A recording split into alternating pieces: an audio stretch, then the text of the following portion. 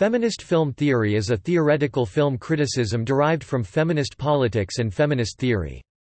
Feminists have many approaches to cinema analysis, regarding the film elements analyzed and their theoretical underpinnings.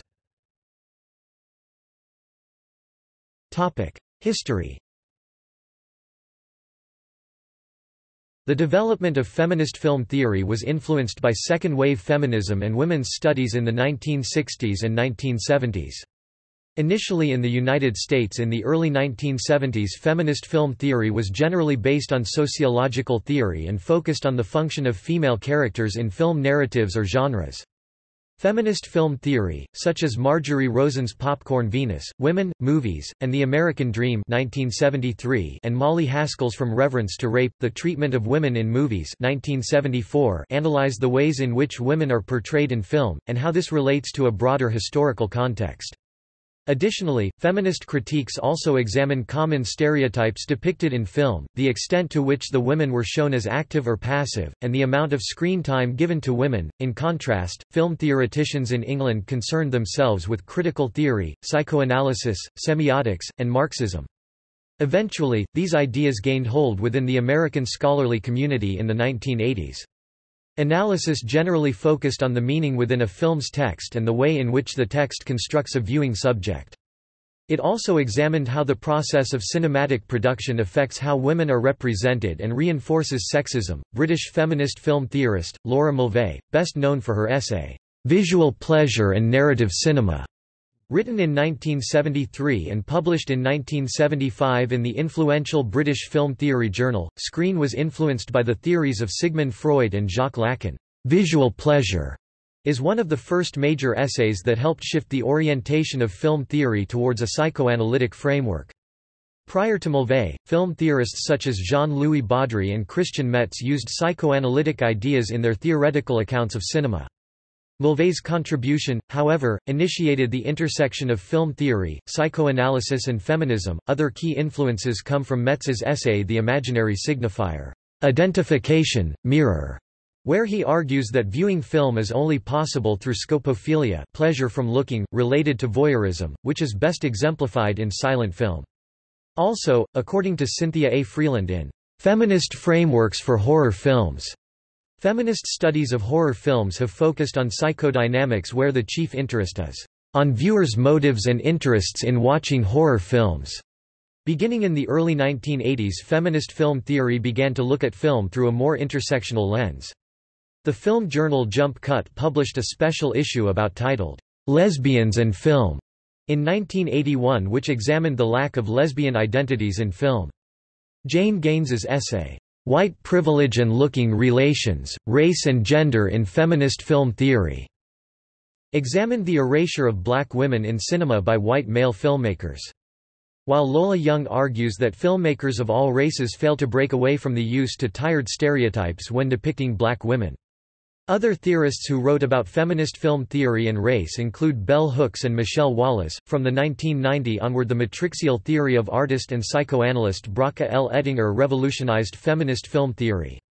Her concept the matrixial gaze, that has established a feminine gaze and has articulated its differences from the phallic gaze and its relation to feminine as well as maternal specificities and potentialities of coemergence Offering a critique of Sigmund Freud's and Jacques Lacan's psychoanalysis, is extensively used in analysis of films, by female directors, like Chantal Akerman, as well as by male directors, like Pedro Almodovar.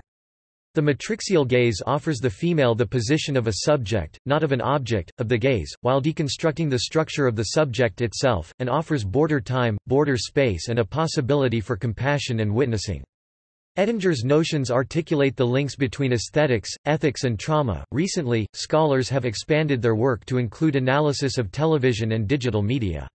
Additionally, they have begun to explore notions of difference, engaging in dialogue about the differences among women part of movement away from essentialism in feminist work more generally, the various methodologies and perspectives contained under the umbrella of feminist film theory, and the multiplicity of methods and intended effects that influence the development of films.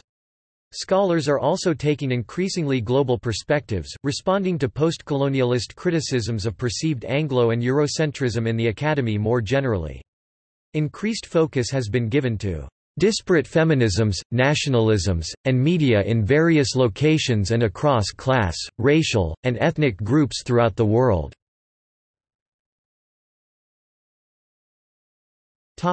Key themes The gaze and the female spectator Considering the way that films are put together, many feminist film critics have pointed to what they argue as the male gaze that predominates classical Hollywood filmmaking. Budd Boetticher summarizes the view. What counts is what the heroine provokes, or rather what she represents. She is the one, or rather the love or fear she inspires in the hero, or else the concern he feels for her, who makes him act the way he does. In herself, the woman has not the slightest importance. Laura Mulvey expands on this conception to argue that in cinema, women are typically depicted in a passive role that provides visual pleasure through scopophilia, and identification with the on-screen male actor. She asserts, in their traditional exhibitionist role women are simultaneously looked at and displayed, with their appearance coded for strong visual and erotic impact so that they can be said to connote to be looked at ness. And as a result contends that in film a woman is the bearer of meaning, not maker of meaning. Mulvey argues that the psychoanalytic theory of Jacques Lacan is the key to understanding how film creates such a space for female sexual objectification and exploitation through the combination of the patriarchal order of society, and looking in itself as a pleasurable act of scopophilia, as the cinema satisfies a primordial wish for pleasurable looking. While Laura Mulvey's paper has a particular place in the feminist film theory, it is important to note that her ideas regarding ways of watching the cinema from the voyeuristic element to the feelings of identification are important to some feminist film theorists in terms of defining spectatorship from the psychoanalytical viewpoint. Mulvey identifies three looks or perspectives that occur in film which, she argues, serve to sexually objectify women. The first is the perspective of the male character and how he perceives the female character.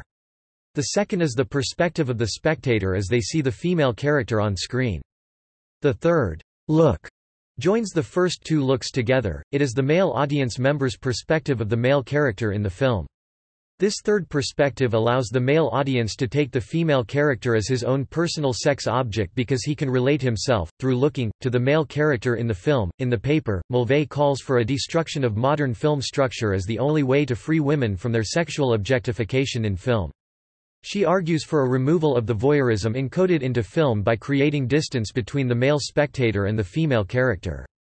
The only way to do so, Mulvey argues, is by destroying the element of voyeurism and the invisible guest.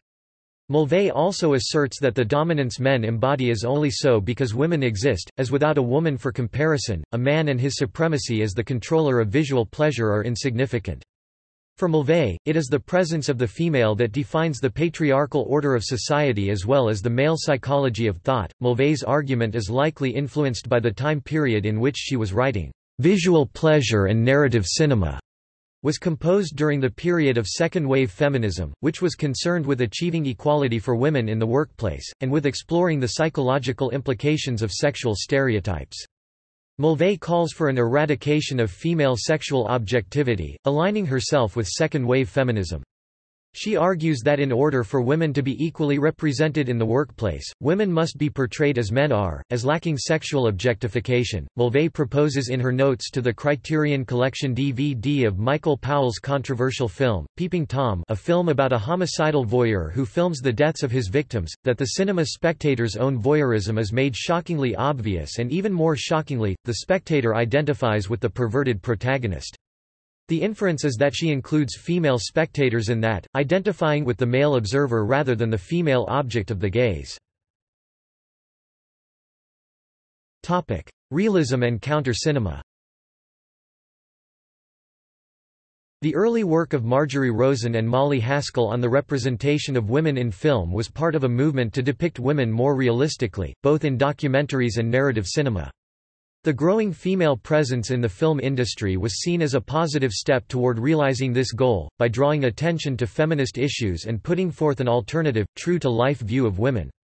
However, Rosen and Haskell argue that these images are still mediated by the same factors as traditional film, such as the moving camera, composition, editing, lighting, and all varieties of sound." While acknowledging the value in inserting positive representations of women in film, some critics asserted that real change would only come about from reconsidering the role of film in society, often from a semiotic point of view. Claire Johnston put forth the idea that women's cinema can function as counter-cinema through consciousness of the means of production and opposition of sexist ideologies, films made by women have the potential to posit an alternative to traditional Hollywood films. Initially, the attempt to show real Women was praised, eventually critics such as Eileen McGarry claimed that the real women being shown on screen were still just contrived depictions. In reaction to this article, many women filmmakers integrated alternative forms and experimental techniques to encourage audiences to critique the seemingly transparent images on the screen and to question the manipulative techniques of filming and editing. Topic: Additional theories. B. Ruby Rich argues that feminist film theory should shift to look at films in a broader sense. Rich's essay In the Name of Feminist Film Criticism claims that films by women often receive praise for certain elements, while feminist undertones are ignored. Rich goes on to say that because of this feminist theory needs to focus on how film by women are being received. Coming from a black feminist perspective, American scholar, Bell Hooks, put forth the notion of the oppositional gaze, encouraging black women not to accept stereotypical representations in film, but rather actively critique them. The oppositional gaze is a response to Mulvey's visual pleasure and states that just as women do not identify with female characters that are not real, Women of color should respond similarly to the one-denominational caricatures of black women. Janet Bergstrom's article Enunciation and Sexual Difference 1979 uses Sigmund Freud's ideas of bisexual responses, arguing that women are capable of identifying with male characters and men with women characters, either successively or simultaneously. Miriam Hansen, in Pleasure, Ambivalence, Identification, Valentino and Female Spectatorship 1984 put forth the idea that women are also able to view male characters as erotic objects of desire. In The Master's Dollhouse, Rear Window, Tania Modleski argues that Hitchcock's film, Rear Window, is an example of the power of male gazer and the position of the female as a prisoner of the Master's Dollhouse. Carol Clover, in her popular and influential book, Men, Women, and Chainsaws, Gender in the Modern Horror Film, Princeton University Press, 1992, argues that young male viewers of the horror genre young males being the primary demographic are quite prepared to identify with the female in jeopardy, a key component of the horror narrative, and to identify on an unexpectedly profound level. Clover further argues that the final girl in the psychosexual subgenre of exploitation horror invariably triumphs through her own resourcefulness, and is not by any means a passive, or inevitable, victim. Laura Mulvey, in response to these and other criticisms, revisited the topic in Afterthoughts on Visual Pleasure and Narrative Cinema inspired by Duel in the Sun, 1981. In addressing the heterosexual female spectator, she revised her stance to argue that women can take two possible roles in relation to film, a masochistic identification with the female object of desire that is ultimately self-defeating or a transsexual identification with men as the active viewers of the text. A new version of the gaze was offered in the early 1990s by Bracha Ettinger, who proposed the notion of the matrixial gaze. Topic list of notable feminist film theorists and critics Lola Young topic See also Bechdel test Cinesexuality Film theory List of female film and television directors List of lesbian filmmakers List of LGBT films directed by women Misogyny in horror films Women's cinema topic References topic Further reading Sue Thornham ed., Feminist Film Theory a Reader, Edinburgh University Press 1999 Multiple Voices in Feminist Film Criticism, edited by Diane Carson, Janice R. Welsch, Linda Dittmar, University of Minnesota Press 1994 Kjell R. Solheim ed., Fatal Women. Journal of the Center for Women's and Gender Research, Bergen Univ, Volume 11 to 115-128, 1999. Bracha L. Ettinger 1999, Matrixial Gaze and Screen, Other Than Phallic and Beyond the Late Lacan, in, Laura Doyle ed., Bodies of Resistance.